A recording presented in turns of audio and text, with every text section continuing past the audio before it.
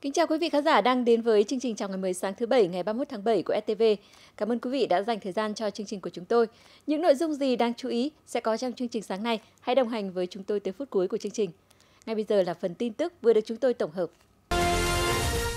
Theo Tổng cục Thống kê, chỉ số giá tiêu dùng tháng 7 tăng 2,64% so với cùng kỳ. Trong 11 nhóm hàng hóa và dịch vụ tiêu dùng chính tháng 7, có 7 nhóm tăng giá so với tháng trước, 3 nhóm giảm giá. Trong đó, tăng giá mạnh nhất là nhóm giao thông do giá xăng dầu tăng, giá lương thực thực phẩm tăng tại một số địa phương thực hiện giãn cách xã hội phòng chống dịch COVID-19 do người dân có tâm lý lo ngại thiếu hàng hóa đã tăng tích trữ. Giá xăng dầu, giá ga tăng theo giá nhiên liệu thế giới và giá điện sinh hoạt tăng theo nhu cầu sử dụng trong mùa nắng nóng là những nguyên nhân chính làm chỉ số giá tiêu dùng tháng 7 năm 2021 tăng 0,62% so với tháng trước, tăng 2,25% so với tháng 12 năm 2020 và tăng 2,64% so với cùng kỳ năm ngoái. Trong 3 nhóm hàng giảm giá, nhóm văn hóa giải trí và du lịch chịu ảnh hưởng của dịch COVID-19 giảm 0,1% so với tháng trước.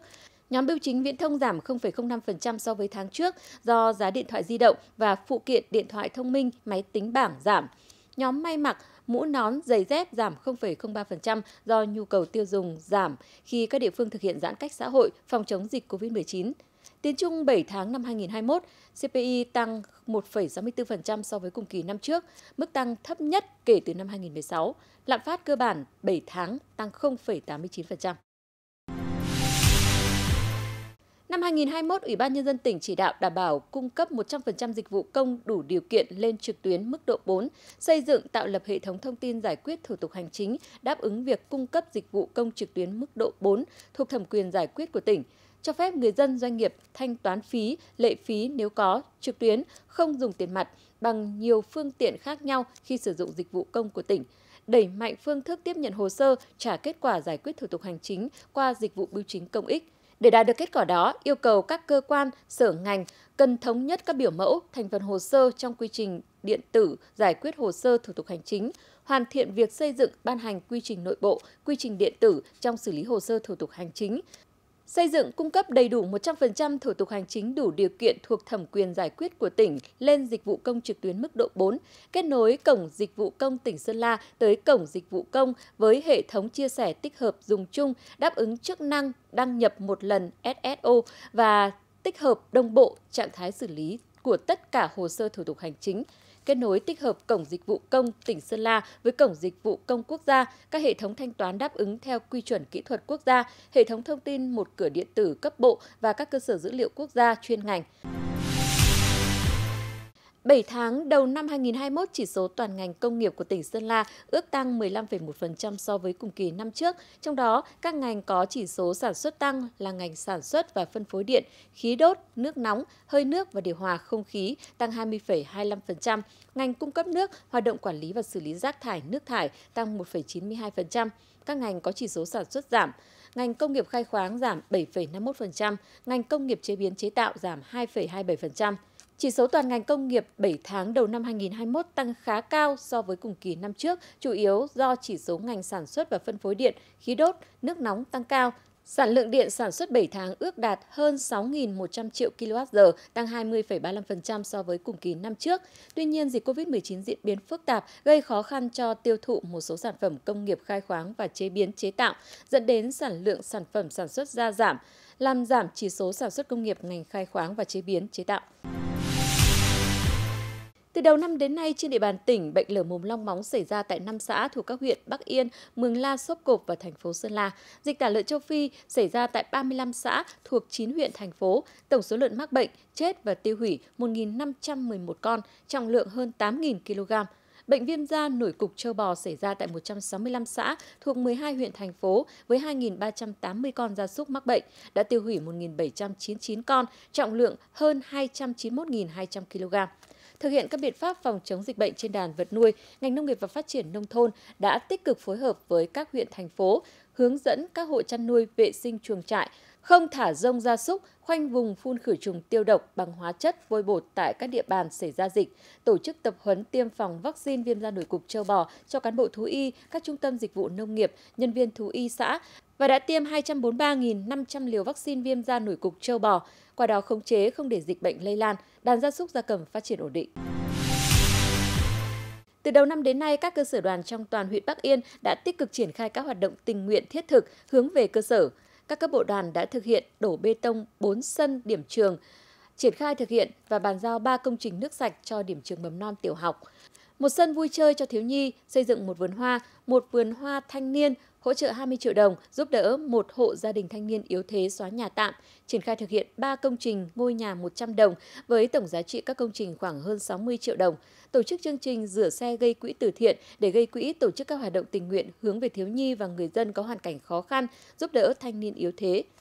Các cơ sở đoàn cũng đã huy động gần 2.300 lượt đoàn viên thanh niên tham gia 76 buổi dọn vệ sinh môi trường, đổ bê tông 560 m đường giao thông nội bản, tu sửa và phát quang 24 km đường giao thông, chăm sóc hơn 2 ha rừng đầu nguồn, trồng khoảng 1.000 cây xanh, xây 27 lò đốt rác, 9 nhà vệ sinh, mở đường vào các khu sản xuất, tu sửa các công trình thủy lợi, qua đó góp phần thực hiện các tiêu chí xây dựng nông thôn mới tại địa phương.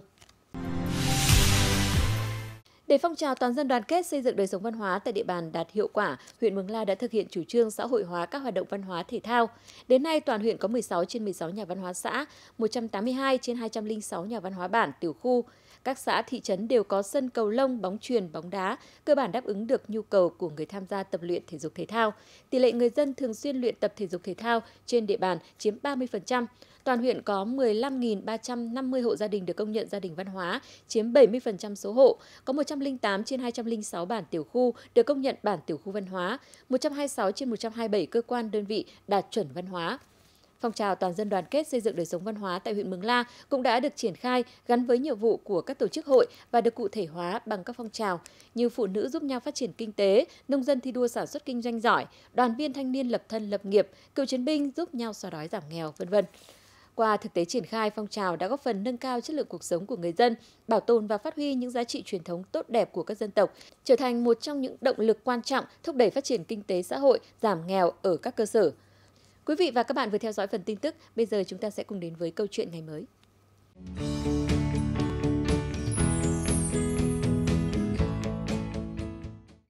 Thưa quý vị, trong tình hình dịch bệnh COVID-19 diễn biến phức tạp hiện nay, số lượng người cũng như địa phương trong cả nước có người nhiễm bệnh tăng nhanh. Trước tình hình đó, thành phố Sơn La đã triển khai quyết liệt các biện pháp, phương án phòng chống dịch hiệu quả, quyết tâm ngăn ngừa dịch bệnh xâm nhiễm vào địa bàn. Trước diễn biến khó lường của dịch bệnh COVID-19, nhất là mỗi ngày số ca nhiễm có xu hướng tăng cao ở một số địa phương. Ngày 25 tháng 7, Văn phòng Ủy ban nhân dân tỉnh đã ban hành thông báo số 421 thông báo kết luận của Ban chỉ đạo phòng chống dịch COVID-19 tỉnh. Theo đó, từ 12 giờ ngày 26 tháng 7, tạm dừng các hoạt động của một số cơ sở kinh doanh. Ngay sau khi nhận được chỉ đạo của tỉnh, Ủy ban nhân dân thành phố đã chỉ đạo các xã phường về công tác phòng chống dịch bệnh COVID-19. Đặc biệt, ngay trong chiều ngày 26 tháng 7, lãnh đạo Ủy ban nhân dân thành phố cũng đã trực tiếp đi kiểm tra một số loại hình kinh doanh dịch vụ trên địa bàn Nhìn chung, các chủ cơ sở đã tuân thủ, thực hiện nghiêm túc mọi quy định về phòng chống dịch bệnh. Ngay sau khi ờ, nhận được cái công văn của tỉnh ờ, về cái công tác chống dịch COVID-19 thì ờ, gia đình chúng tôi sẵn sàng là đóng cửa và tạm dừng mọi cái hoạt động của quán. Cùng với trực tiếp tuyên truyền tại các xã phường thì việc tuyên truyền trên các phương tiện thông tin đại chúng, loa truyền thanh các tổ bản tiểu khu tuyên truyền lưu động trên các tuyến phố chính cũng được thành phố chú trọng. Tổ dân phố tổ 6 đã triển khai đến à, các hộ kinh doanh là ký cam kết à, dừng hoạt động kinh doanh để đảm bảo cái công tác à, phòng chống dịch Covid-19. Có thể thấy trong thời gian qua, cấp ủy chính quyền và nhân dân trong khu phố đã tích cực thực hiện các biện pháp phòng chống dịch như đeo khẩu trang, rửa tay sát khuẩn, hạn chế tiếp xúc nơi đông người và nâng cao ý thức trong việc khai báo y tế, đặc biệt tại các cơ quan đơn vị, cơ sở sản xuất kinh doanh đã chủ động áp dụng các biện pháp phòng chống dịch như bố trí dung dịch sát khuẩn ngay ở lối vào và những vị trí dễ quan sát để người dân thuận tiện sát khuẩn tay mọi lúc mọi nơi, sử dụng khẩu hiệu cảnh báo về phòng chống dịch, đo thân nhiệt đối với tất cả người vào cơ quan đơn vị. Tuy nhiên, trên thực tế vẫn còn một bộ phận người dân có tư tưởng chủ quan trong việc thực hiện các quy định phòng chống dịch bệnh – từ đầu năm 2021 đến nay, đơn vị đã kiểm tra nhắc nhở 579 trường hợp, tham mưu và ra quyết định xử phạt vi phạm hành chính 221 trường hợp, phạt tiền 529 triệu 350 nghìn đồng là đơn vị dẫn đầu toàn công an tỉnh trong công tác xử lý vi phạm về phòng chống Covid. Trước tình hình dịch bệnh diễn biến phức tạp, thành phố Sơn La tiếp tục thực hiện đồng bộ các biện pháp phòng chống dịch, trong đó đẩy mạnh tuyên truyền để người dân nắm rõ tình hình, nâng cao ý thức trách nhiệm, không lơ là chủ quan. Bên cạnh đó phát huy vai trò nòng cốt các tổ Covid cộng đồng, trực tiếp đến từng ngõ gõ từng nhà, ra từng người. Các lực lượng chức năng tăng cường tuần tra xử lý việc không chấp hành thông điệp 5K và coi việc đeo khẩu trang là lá chắn, là hành động của mỗi cá nhân vì sự an toàn của mỗi người, mỗi nhà và thành phố Sơn La. Vâng, tình hình dịch bệnh COVID-19 đang diễn biến hết sức phức tạp. Để ngăn chặn dịch bệnh lây lan, mỗi người dân chúng ta cần nghiêm túc thực hiện các biện pháp phòng chống dịch được chính quyền và cơ quan chức năng triển khai. Tạm khép lại câu chuyện ngày mới, chúng ta cùng đến với mục trò chuyện cuối tuần.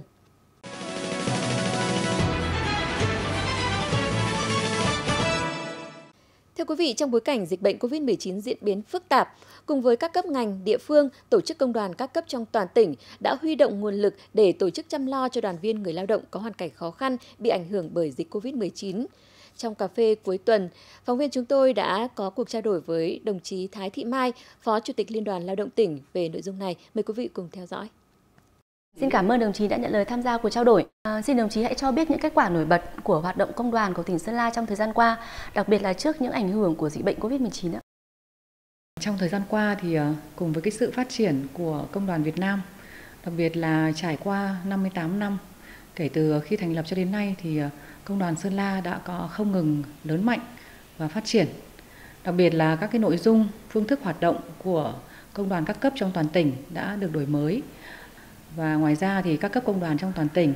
đã tổ chức thực hiện có hiệu quả các cái phong trào thi đua yêu nước, các cái cuộc vận động, các cái hoạt động xã hội và là điểm tựa vững chắc cho người lao động trong thời gian qua.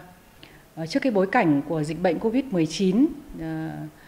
với những cái diễn biến ờ, hết sức phức tạp thì các cấp công đoàn đã triển khai nhiều cái hoạt động đổi mới phù hợp với cái tình hình của dịch bệnh. Thưa đồng chí, có thể khẳng định là tổ chức công đoàn của tỉnh Sơn La ngày càng vững mạnh và là chỗ dựa vững chắc cho người lao động à, trên địa bàn toàn tỉnh. Vậy thì trong thời gian tới, để tiếp tục phát huy vai trò của tổ chức công đoàn, thì tỉnh Sa sẽ tập trung vào những nhiệm vụ giải pháp cụ thể như thế nào ạ? Thứ nhất là tập trung triển khai thực hiện có hiệu quả các cái mục tiêu, các cái chỉ tiêu mà nghị quyết đại hội công đoàn các cấp đã đề ra. Bên cạnh đó thì à, các cấp công đoàn sẽ thường xuyên nắm bắt cái tình hình việc làm, thu nhập rồi đời sống của người lao động, lắng nghe những cái tâm tư, nguyện vọng chính đáng của người lao động để xây dựng những cái chương trình, xây dựng những cái kế hoạch phù hợp. Đặc biệt là tiếp tục tuyên truyền, quán triệt ờ, việc đẩy mạnh học tập và làm theo tư tưởng đạo đức phong cách Hồ Chí Minh, qua đó để nâng cao cái nhận thức và trách nhiệm của đoàn viên và công nhân viên chức lao động về cái sứ mệnh lịch sử của giai cấp công nhân trong ờ, tình hình mới. Ờ, thứ hai là các cấp công đoàn sẽ chú trọng đến công tác tuyên truyền, giáo dục để nâng cao nhận thức và bản lĩnh chính trị, ờ, trình độ lý luận rồi năng lực nghề nghiệp của cán bộ, đoàn viên và người lao động và tham mưu cho cấp ủy rồi chính quyền ờ, có tìm ra những cái giải pháp để tháo gỡ những cái khó khăn, giải quyết những vấn đề về việc làm rồi nâng cao cái thu nhập cho người lao động. Dạ, một lần nữa xin cảm ơn đồng chí về cuộc trao đổi ạ. Có thể nói những sự hỗ trợ trong bối cảnh dịch bệnh COVID-19 là hết sức ý nghĩa để chúng ta cùng chung tay đẩy lùi dịch bệnh và cuộc sống sẽ sớm trở lại bình thường. Cuộc trao đổi vừa rồi đã khép lại chương trình chào ngày mới sáng nay. Cảm ơn quý vị và các bạn đã dành thời gian theo dõi. Xin kính chào tạm biệt và hẹn gặp lại.